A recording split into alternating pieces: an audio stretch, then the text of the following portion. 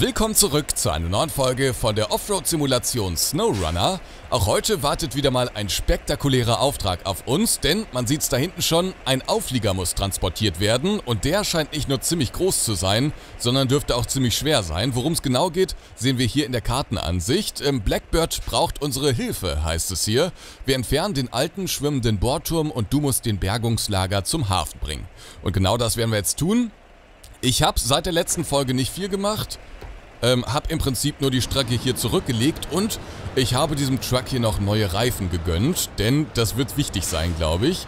Ansonsten sind wir nach wie vor in Alaska unterwegs und wie der Plan aussieht, was man noch so alles machen kann und was ich so entdeckt habe und welche Reifen hier drauf sind, das würde ich sagen, äh, erzähle ich euch nachher. Jetzt kämpfen wir uns erstmal vor bis zu dieser Fabrik da hinten. Und ich glaube, hier kommen wir noch ganz gut durch. Hier wird schon wieder fleißig gedreht, aber ich glaube, das sollte noch funktionieren. Oder sollen wir uns ziehen lassen? Na? Überwinden wir den Schnee? Ja, das klappt. Dachte ich doch. Alles andere hätte mich auch sehr enttäuscht. Ähm, vielleicht kann ich das Geheimnis um die äh, Reifen schon mal lüften. Da hab ich, äh, bin ich eurem Rat nämlich gefolgt. Ähm, ich wollte erst nicht so viel in Reifen investieren, aber ich glaube, es war ganz sinnvoll, jetzt äh, Reifen fürs Gelände drauf zu ziehen. Denn schon auf der Stecke, Strecke von der Werkstatt zu dieser Firma hier... Ach du, ach du liebe Zeit. Das sollen wir hier durch den Schlamm ziehen. Eins, zwei, drei, vier, fünf Achsen hat das Teil. Ah ja, das ist ein guter Plan. Bin ich sehr gespannt, ob das klappen soll. Äh, beziehungsweise wie das klappen soll. Aber jetzt fahren wir erstmal ran. Ein bisschen gerader vielleicht noch. Und äh, nehmen das Teil mit. So.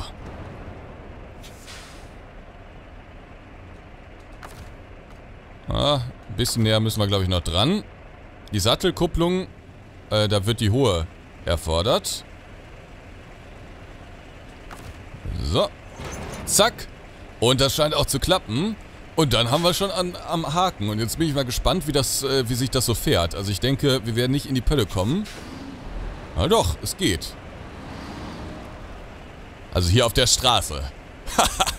also ich bin mir sicher, dass wir damit eklatant feststecken bleiben.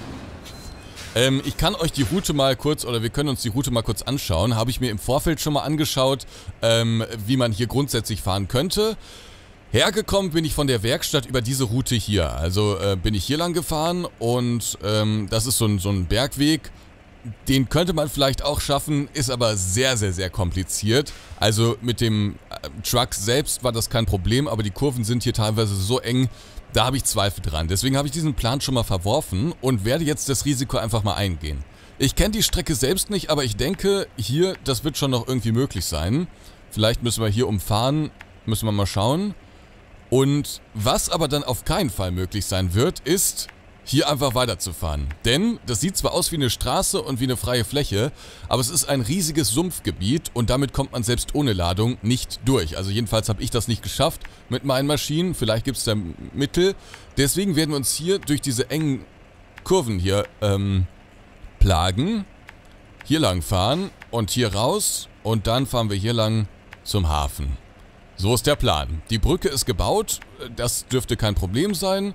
Der Abladepunkt ist auch, ne, das ist auch alles kein Problem. Und ich habe den Caterpillar hier schon hingestellt, den wir in der letzten Folge freigeschaltet haben. Ähm, vielleicht müssen wir mit dem das Ganze nochmal rausziehen, den Karren aus dem Dreck ziehen sozusagen. Aber jetzt schauen wir erstmal, wie weit wir kommen. Also das ist mein Plan. Ich habe mir auf jeden Fall ein paar Gedanken gemacht und wenn man die Map ein paar Stunden gespielt hat, dann kennt man ja auch schon so ein paar tricky Geschichten. Und daher wusste ich das auch mit dem Sumpf. Ja, wir schauen mal, wie das so funktioniert. Ich habe keine Ahnung. Uiuiui. Ein bisschen Angst habe ich schon, dass wir also ganz, ganz schlimm stecken bleiben.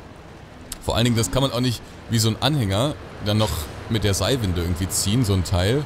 Sondern wenn man damit einmal steht, dann steht man. Oh ja, und hier geht's schon los. Ich höre sie schon läuten. Ah, aber im Moment schauen wir noch voranzukommen. So. Genau, aber jetzt sehen wir auch den Vorteil der Reifen.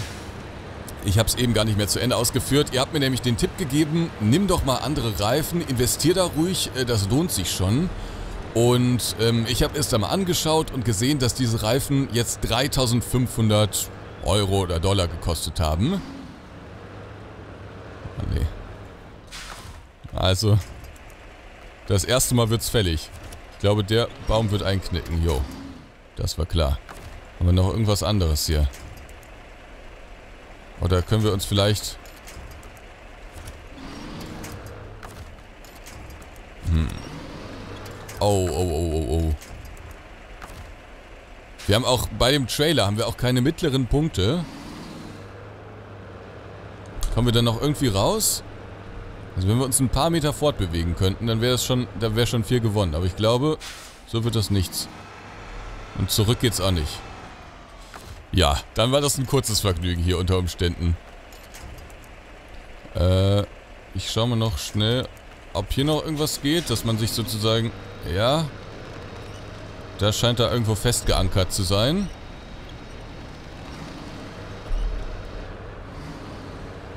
Ja, ja, ja, ja.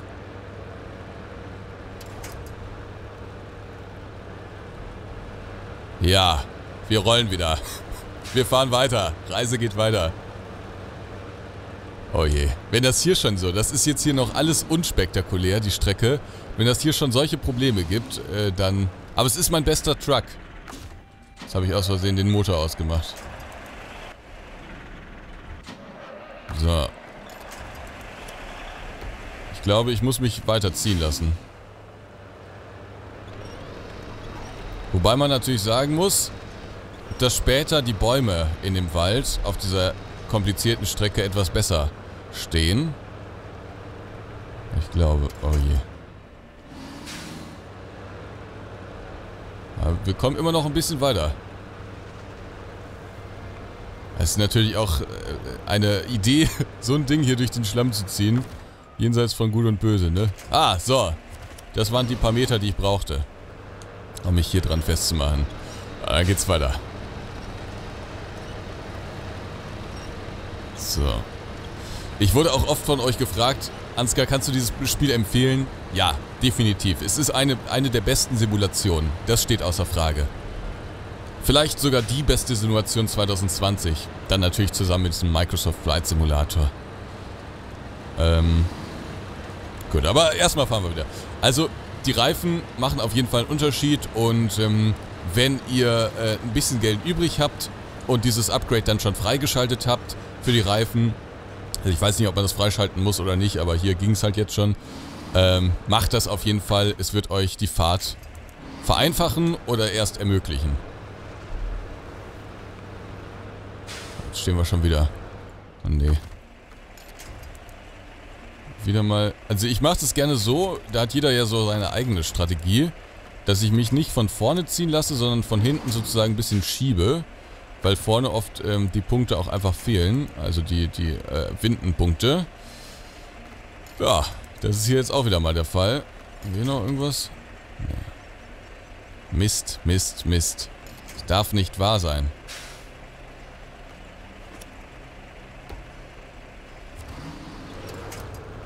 Damit fällen wir nur. Vielleicht so?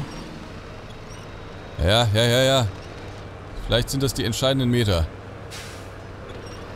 Die dadurch zurückgelegt werden können. Ah, nee. Ja? Ah, wir fahren wieder. okay. Jetzt geht es sogar ein bisschen abwärts. So, jetzt ist die Frage. Links oder rechts? Ich neige ja dazu, rechts zu fahren, aber ich glaube, ich fahre mal links. Aber das ist, oh, das ist so schief da. Boah, das ist eine der spannendsten Missionen, die ich bislang gemacht habe. Bei vielen war dann irgendwie so nach ein paar Minuten klar, das funktioniert einfach nicht. Bei der habe ich aktuell nicht das Gefühl, aber ich habe ein bisschen Angst, dass sich das ganze Ding hier auf die Seite legt. Hier macht man Dinge, die man in der Realität nie machen würde. Straße schieb... Ah, fahren wir lang. Ich meine, es ist auch gar keine Straße hier.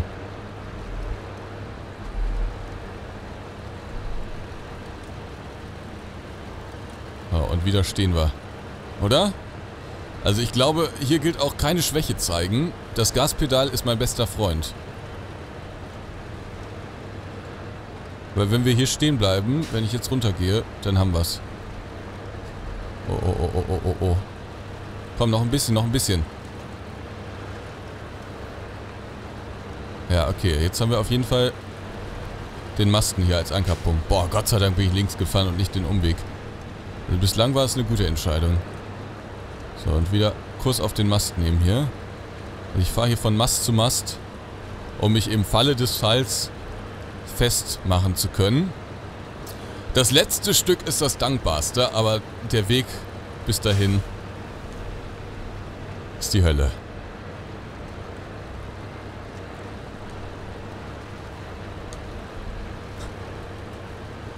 Oh je.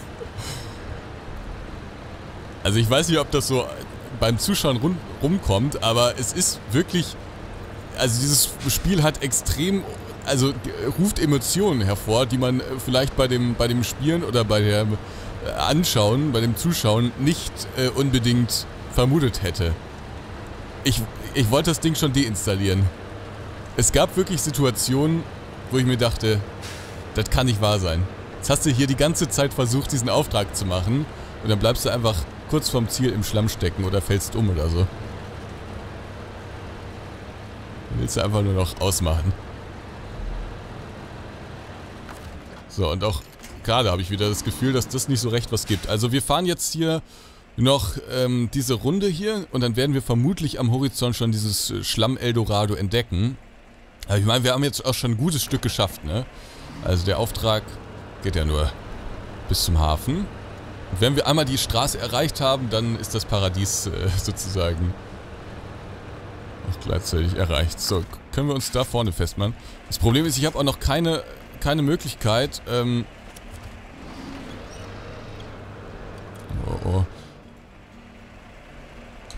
Wir hängen da auch so ein bisschen an den Felsen. Ich habe noch keine Möglichkeit, hier so eine längere Seilwinde anzubringen. Das kommt noch erschwerend hinzu. Nee, also wir müssen erstmal den hier ein bisschen wegziehen. Können wir das irgendwie, kriegen wir das irgendwie hin, dass der so ein bisschen... Boah, das ist Taktik hier.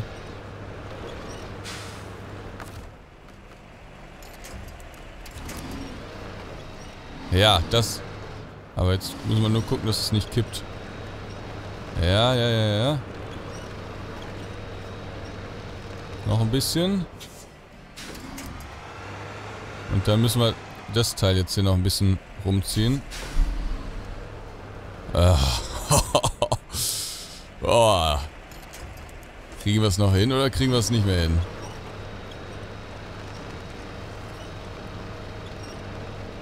Ich glaube, bei manchen Manövern fragt man sich auch, was macht der da? Kann ich einfach fahren? Aber das Problem ist, dass unser Trailer, dass ich ein bisschen unbedacht äh, gefahren bin. Und jetzt haben wir nämlich den Salat. Dass der hier an dem Felsen festhängt.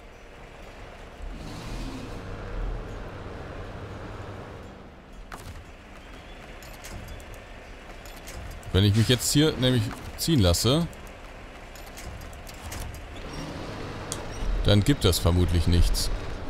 Wir werden nur von der Straße abgebracht. Und das ist das Problem. Wie kann man diese Situation jetzt lösen? Oh, oh, oh, oh, oh.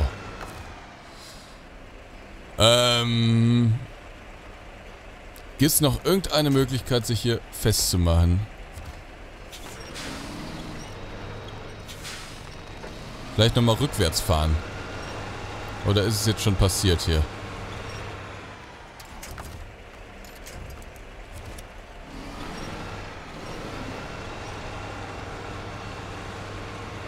Es wird schon wieder geflügt. Wie kriegen wir den so gezogen, wie, wie wir das brauchen? Vielleicht so.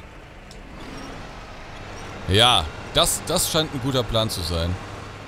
Das, was jetzt hier gerade passiert. Ja, ja, ja, ja.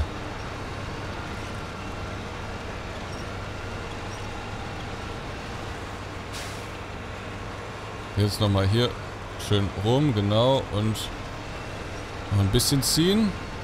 Ja, so, so, so. Boah, ich hatte gerade schon mit dem Auftrag hier abgeschlossen. oh, der ist einfach...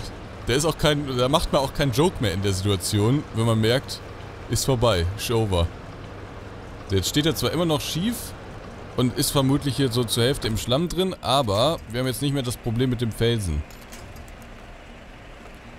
Ähm... Jetzt ziehen wir uns mal an dem Baum lang.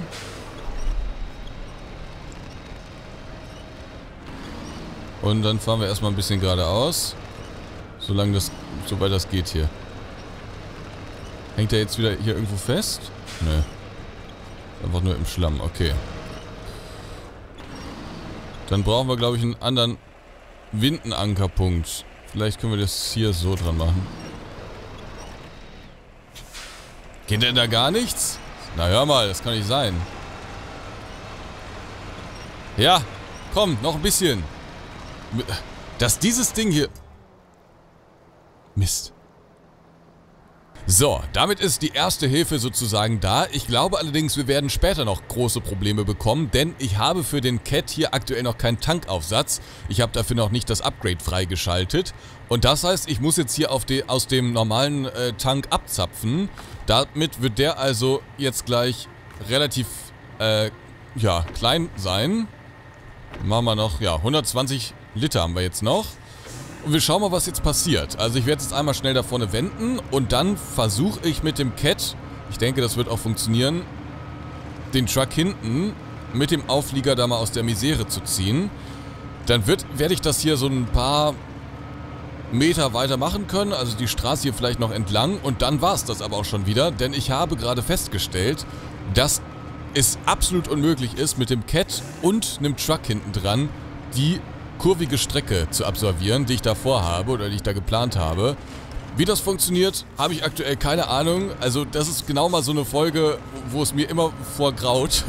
ähm, aber wir werden das schon irgendwie schaffen und werden da schon irgendwie durchkommen.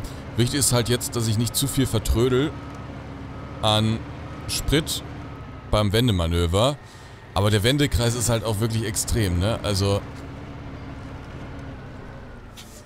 man sieht, dieser Knicklenker hier, der fährt oder steuert und lenkt sich ganz anders, als man das vielleicht von anderen Trucks kennt. Deswegen mache ich jetzt einfach den hier.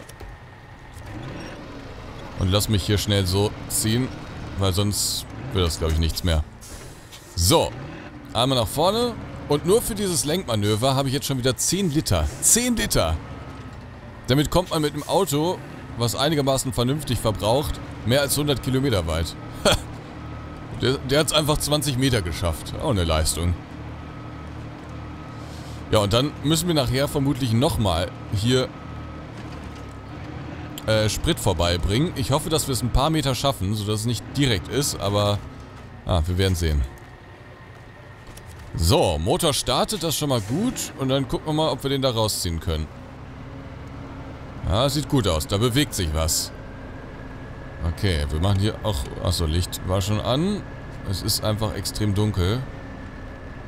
Und passt das oder passt es nicht? Kriegen wir den da rüber gehoben? Ich glaube, aktuell... Das war gerade... Ich glaube, man sieht das von hier nicht so. Ich glaube, aktuell stehen die hinteren Räder in der Luft. Ja, immer ein gutes Zeichen. So, aber wir kriegen den da raus. Es kämpft selbst der Cat hier, aber man merkt, der Cat ist, äh, Caterpillar hier ist eine echte Powermaschine. Und die zieht und zieht und zieht und zieht. Oh, oh, oh, oh, oh. Das kippt gefährlich da hinten. Mir ist auch nicht mehr zum Spaßen zu, zumute hier. Ist einfach nur noch die Angst. Vor allen Dingen, weil dieses Ziehen auch immer so eine Un Unkontrollierbarkeit hat. Man weiß nicht, wie sich der Auflieger jetzt da verhält. Wenn der all das macht, was ich will, alles super. Aber wenn der sich zu stark neigt, wie jetzt gerade zum Beispiel wieder, dann habe ich doch etwas Sorge. Ich zieh mal weiter. Oh, oh, das neigt sich immer mehr. Ne, ich muss... Ich, das ist mir zu riskant. Wir lösen die Winde. Ich fahre ein paar Meter vor. 87 Liter sind noch. Aber ich glaube, wir kommen auf jeden Fall noch bis zum Eingang. Und dann wechseln wir den Truck. Boah. So. Jetzt ist die Frage, gibt es da irgendwas? Ah ja, hier. Also man sieht, mit diesem Offroad-Truck hier ist absolut nichts möglich. Wir fahren ein paar Meter zurück. Und ich hole ein bisschen weiter aus.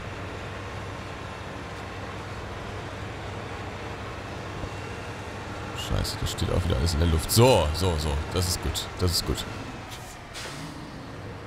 So, Winde einmal lösen und dann etwas weiter hier hinfahren, sodass wir da um diese Kurve kommen.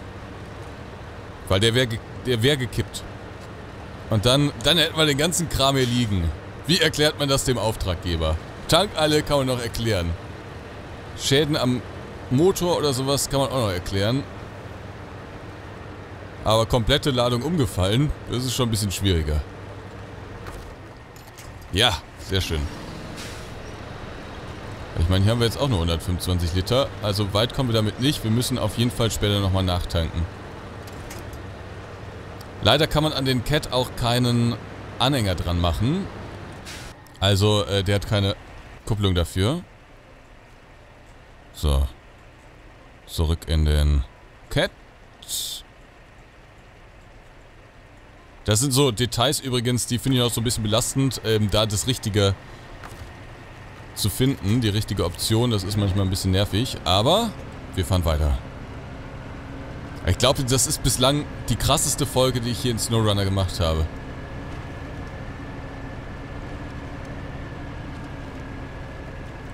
So. Und immer schwingt die Angst mit, alles könnte umsonst sein. Alles für die Katz. Wir werden übrigens in der nächsten Folge neue Fahrzeuge kaufen erstmals und ich werde fast mein komplettes Inventar, also fast alle Trucks, verkaufen. Warum, erkläre ich euch dann noch, aber das schon mal als kleine Preview. Dann werden wir uns auch mal ähm, intensiv mit der Werkstatt beschäftigen und mit den Optionen, wie das da so alles funktioniert mit dem Fahrzeugkauf. 70 Liter sind noch. Also wir schaffen es auf jeden Fall noch bis zum Eingang dieses, dieses Weges hier. Geradeaus würde man jetzt zu diesem Schlamm-Ding kommen. Vielleicht schafft man es mit dem Cat. Kann, kann sein. Ich glaube aber, dass man es nicht schafft. Komm, noch ein bisschen. Caterpillar enttäuscht mich nicht hier. So. Und hier geht es dann ziemlich eng bergauf und bergab. Und wenn diese Etappe geschafft ist, dann mache ich drei Kreuze. Aber das muss halt erstmal passieren. Boah, wie lang dieser Anhänger ist. Da soll ich doch durch den Schlamm fahren. Nee. Nee, ist mir zu riskant. Ich löse die Winde, lasse den Caterpillar jetzt hier stehen. Der bringt uns auf dem nächsten Stück nicht mehr viel, das ist zu eng. Und versuche mich jetzt hier von Baum zu Baum zu hangeln. Handbremse lösen, und ab die Post. Oh je, jede Kurve. Jede Kurve wird das gleiche Spielchen sein hier.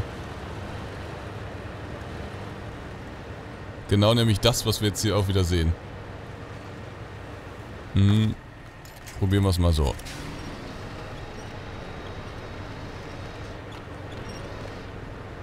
Okay, wir müssen den noch ein bisschen anders äh, ziehen.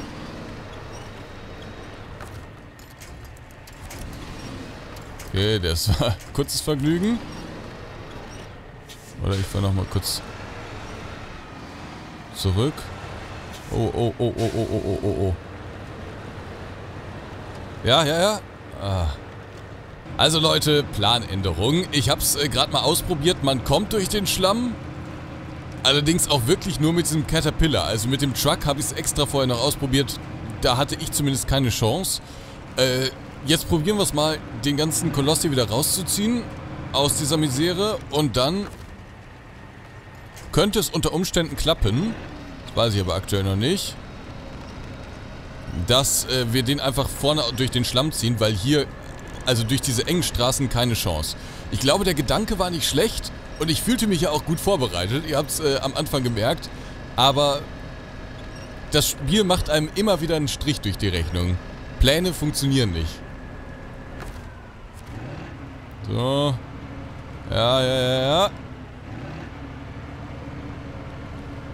So. Okay. Jetzt ziehen wir es noch ein bisschen gerade, aber ich glaube, so reicht schon. Ah, stopp, stopp, stopp. So. Nicht, dass es uns wieder umkippt. Und dann überhole ich das Gespann und dann geht es jetzt runter zur Straße. Mit etwas Glück reicht sogar mein Tankinhalt hier noch von dem Caterpillar.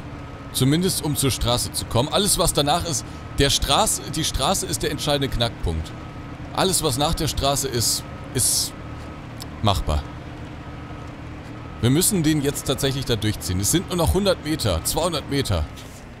Aber die haben es in sich. Also dieser Caterpillar hier hat es auch nur im Lastenmodus und mit Differentialsperre geschafft. Gut, das Schild musst du jetzt mal dran glauben. Aber er hat es geschafft. Das ist ja das die Hauptsache.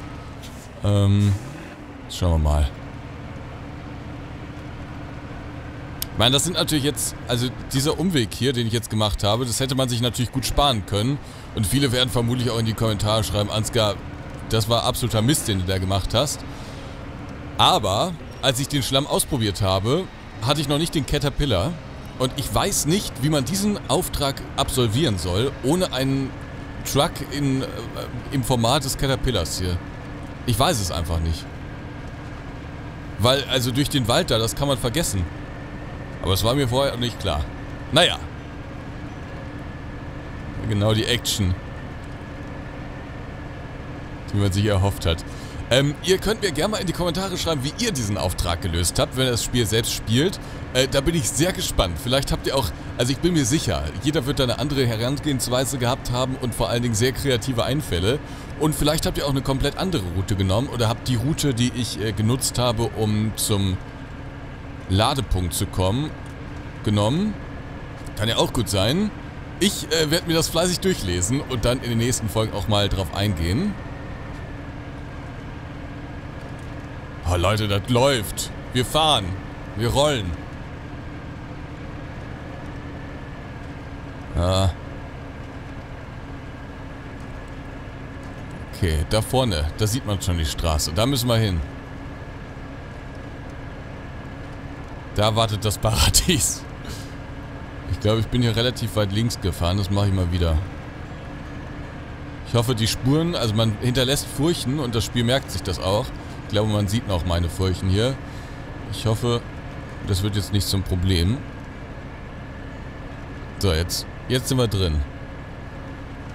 Wir wechseln in Lastengang, machen die Differentialsperre rein und tatsächlich, aktuell können wir noch ziehen. Aber es ist aktuell auch nur die Belastung vom Caterpillar. Jetzt wird es schwieriger. Können wir den hier durchziehen oder nicht? Doch, wir fahren noch. Doch, wir kriegen es echt hin. Es schwankt beträchtlich, weil wieder alle Räder in, in der Luft stehen. Das ist ein Quatschtransport hier. Das würden wir nie, nie so machen. So, da vorne wartet das Ziel. Leute, wir kommen hier echt durch. Hol den mal ein bisschen näher an mich ran. Dann können wir den sogar noch auftanken. Boah. Das ist ja mega. Da kratzt er sich, der Fahrer. ich würde mir, glaube ich, die, den Schweiß von der Stirn wischen. Ja, also auch wenn äh, natürlich SnowRunner einige Fehler enthält, aber solche Erlebnisse, also äh, SnowRunner bietet so viel mehr als MudRunner. Ich war mir darüber am Anfang wirklich nicht im Klaren. Ähm, ich finde es ein bisschen schade, dass es in den Kommentaren immer mal Leute gab, die gesagt haben, Ansgar, du machst das alles falsch. Denn zum Beispiel äh, der Punkt, ähm, dass ich mit Fahrzeugen gefahren bin, äh, in der vorletzten Folge, glaube ich, die jetzt nicht so gut für den Schnee geeignet waren, ähm, das habe ich natürlich nicht gemacht, weil ich da so Lust drauf hatte, sondern weil es einfach an Fahrzeugen auch fehlt. Ne? Das ist ja der, der Thrill. Wenn man direkt mit den großen Monstern starten würde, wie mit dem Caterpillar, dann bringt das ja nicht viel. Äh, insofern muss man sich da ein bisschen quälen. Aber das ist eben auch mit vielen Niederschlägen Schlägen verbunden. Gleich, gleich fahren wir rückwärts. Und ähm, da fand ich es dann so ein bisschen komisch, dass, dass das kritisiert wurde, die Fahrzeugauswahl, obwohl man ja nicht wirklich viel dafür kann. Na komm. Zieh, zieh, zieh.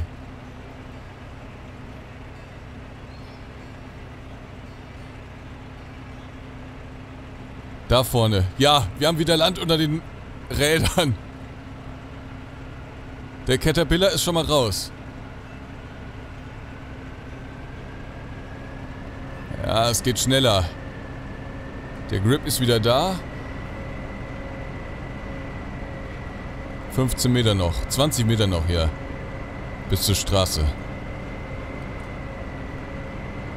Ja, ja, ja.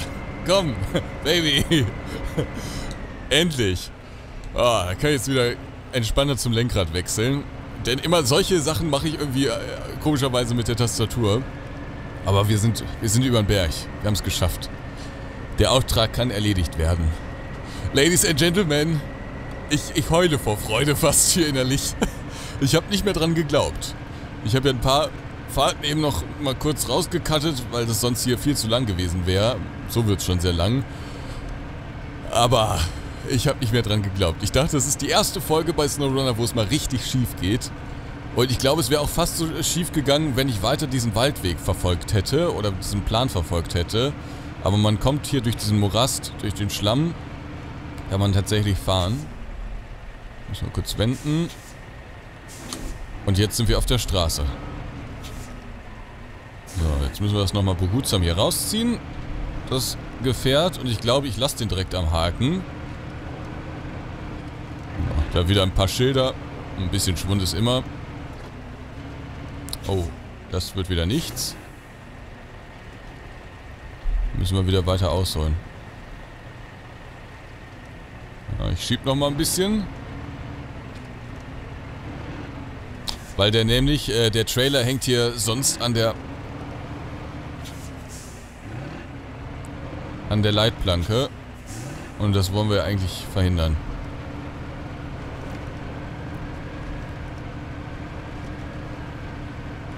Kommt er noch rüber? Schafft das oder schafft das nicht? Ich glaube, er schafft es nicht. Doch! Er fährt über die Leitplanke. Ja, ja, ja. Oh. oh. Der wäre schon wieder fast gefallen. Also hier stumpf aufs Gas zu treten, das bringt genau gar nichts. Man muss extrem behutsam, eigentlich noch viel behutsamer als ich jetzt hier fahren. Und dann hat man die Chance, dann ist es noch nicht garantiert, aber dann hat man die Chance, den Auftrag zu erledigen. So, hier wird es jetzt wieder mal ein bisschen gefährlicher. Deswegen lasse ich den Cat jetzt hier stehen, löse die Winde. Tank den nochmal schnell auf. Äh, vielleicht kann ich noch ein bisschen näher ranfahren. So, nachtanken. Okay.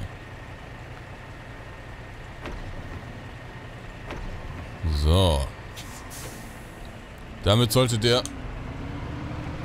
durchkommen bis zum Hafen. Wir wechseln wieder in den Royal. Und dann machen wir uns hier auf den Weg. Ohne Caterpillar. Vielen Dank für die Hilfe, Kollege. Boah, also man kann hier überhaupt nicht fahren. Es ist eis, eis, eisig glatt. So, jetzt aber.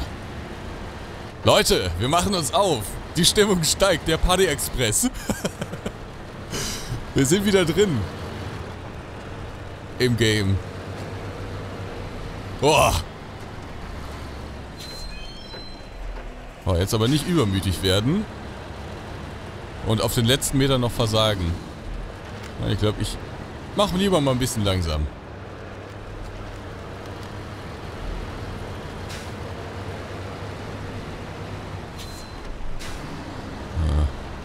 Aber fahrlässig die Rundumleuchten hier nicht anzuhaben. Es wurde auch oft gefragt, ob man die anschalten kann oder wie man die anschalten kann. Ich glaube, man kann sie nicht anschalten. Ähm, also ich weiß auf jeden Fall nicht wie. Oder wüsste nicht wie. Und Crossplay, also das Spielen zwischen Konsolen und PC, oder Konsolen untereinander ist nicht möglich. Also nur PS4 und PS4 oder Xbox One und Xbox One oder PC und PC, aber ich glaube nicht darüber hinaus. Leute, da ist er! Der gepriesene Hafen. Ich mach drei Kreuze gerade. Das ist das Tor zum Himmel. Oder das Tor zur Auftragserledigung vielmehr. Und dann denkt man, oh, jetzt hast du ja richtig was geschafft. Und äh, das wird ja sicherlich köstlich belohnt, aber wir werden gleich sehen, das bringt uns gar nicht so viel, der Auftrag. Ist das hier? Dann müssen wir das, nee, wir müssen das weiter hinten abge abgeben. Aber da ist noch ein Tankauflieger. Den könnte ich mal zum zur Werkstatt bringen. So. Okay.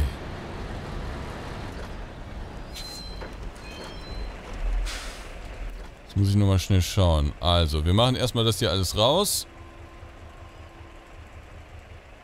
Die ganzen Aufträge und ich glaube, hier ist der richtige Trigger. Alles abgeliefert. Schwimmender Bohrturm. Blackbird ist zu 100% zufrieden. Vielleicht lässt sich der Boss jetzt nun endlich in Ruhe. Das war's. Fürs Erste. 3350 Euro und 360 Erfahrungspunkte hat uns dieser Auftrag eingebracht. Ich fand diesen Auftrag mega. Mein Plan hat am Anfang gar nicht so gut funktioniert. Äh, also ich dachte, den Schlamm überfahren war oder umfahren war, ähm, weil man da nicht durchkommt. Und ohne Caterpillar oder ohne einen vergleichbaren Truck wären wir da niemals durchgekommen. Das hätte nicht funktioniert. Also egal welche Reifen, egal welche Motorkonfiguration, es hätte nicht funktioniert. Da, da bin ich mir zu 100% sicher.